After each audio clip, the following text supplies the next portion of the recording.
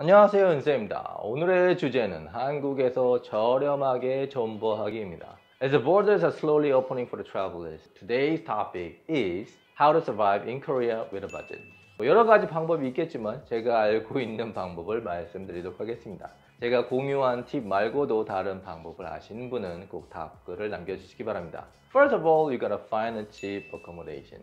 일단 숙소를 정해야겠죠. 그 첫 번째는 단연 찜질방입니다. Jimjilbang is technically a spa and bathhouse with a sleeping area.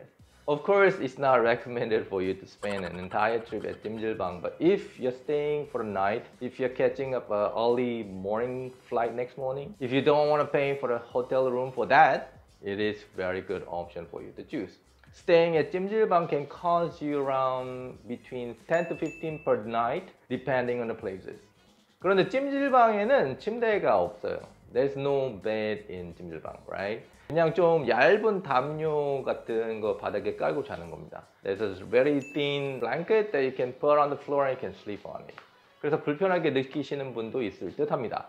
그래도 뭐 from economical perspective, I think 돈을 아낀다는 면에서는 가장 효율적이지 않을까 싶습니다. 두 번째, 두 번째는 고시원. 고시원 is the smallest type of room that you can find in Korea.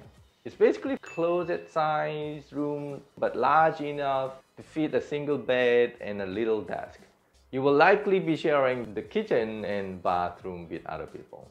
This type of accommodation for those people who look for a quiet place to study for exams or maybe out of towners who work in the city over the couple of weeks. But if you are planning to be in Korea long enough, you can consider get one room here. Stays at Goshiwon can start as low as $200 per month. 고시원은 정말 딱 한 사람이 자고 먹고 공부하기 위한 공간이라고 생각하시면 될 것 같습니다. 세 번째, Airbnb. Airbnb is quite popular in Korea and you can find a good bargain especially if you book ahead of time. The listing includes a mixture of the officetels, lofts, and two-bedroom apart rooms. They're really, really nice listing for 35 to 50 dollars per day. Although yes, you can go up a little bit higher if you're looking for modern places with extra conveniences. 네, 뭐 에어비앤비는 너무 잘 아시죠? 요즘은 전망도 좋고 교통망도 좋은 곳에 에어비앤비 숙소가 많이 나온 곳이 있으니까 꼭 어, 미리 어, 미리미리 어, 잘 찾아보시기 바랍니다. Next items that you need to look up is public transportation. Unless you want to stay in the room for an entire trip. Do you? No? Right? for that, the next item is T-Money card. The T for the transportation. This transportation card will give you an access to all the metro systems in Korea. Buses, taxis, trains, subways, even for the convenience store items that you can buy on the go, uh, that all can be covered. It's better for you to get card instead of paying per ride because it makes a fare cheaper. You will end up saving a lot of money in the long run. So you can pick up this card at any metro station or at any convenience store as well. Very easy for you to get one. 솔직히 저는 지갑에 현금은 안 들고 다닐 때가 진짜 많아요. 왜냐면 뭐 티카드만 있으면 거의 모든 것을 해결할 수 있습니다. 택시, 버스, 지하철, 뭐 편의점 뭐 살 때도 티카드만 있으면 다 해결이 돼서 뭐 그냥 현금이라고 생각하시면 되겠습니다. 요즘에는 뭐 크레딧 카드, 뭐 신용카드, 직불카드에도 이런 티카드 기능이 있어서 따로 안 사셔도 되지만 뭐 디자인이 워낙 예쁜 게 많아서 어, 소장용으로 괜찮습니다. Nowadays, the credit cards and debit cards in Korea would come with these T-card functionalities. You don't need to buy one separately, but the design is a very pretty and you know cute, so you can keep it for yourself as a souvenir. 다음은 먹거리입니다. 먹거리, food. 음식값은 정말 천차만별인 것 같아요. 그죠? Price for the food really varies, but again, today's topic is jumbo.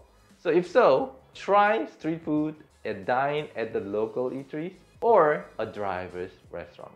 길거리 음식 아니면 동네 음식점 or 기사식당. These little hole in the wall eateries can be easily missed if you're not paying attention. They are really typically located in a residential neighborhood and holds between the 5 to 10 tables only. Average meal at the, these kind of local eatery places will cost you around four to seven dollars per meal.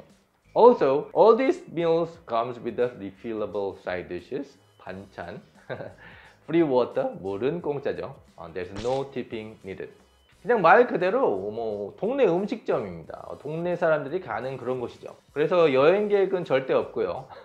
그래서 가격에도 버블이 없습니다. There's no bubble in the price. But you know, Instagram photos are maybe not so possible. 하지만 저 개인적으로는 이렇게 현지 사람들이 사는 방식대로 하는 뭐 그런 여행을 더 좋아해서 If you prefer this kind of trip where you can feel and experience the how the local people live day in day out, I think I would strongly recommend you to try this kind of restaurant for you. And the food that you can try there, maybe 비빔밥, 순두부찌개, 김치찌개, 감자탕, 된장찌개, 짜장면, 짬뽕, 떡볶이, 어묵, 김밥, 튀김 뭐 너무 많습니다.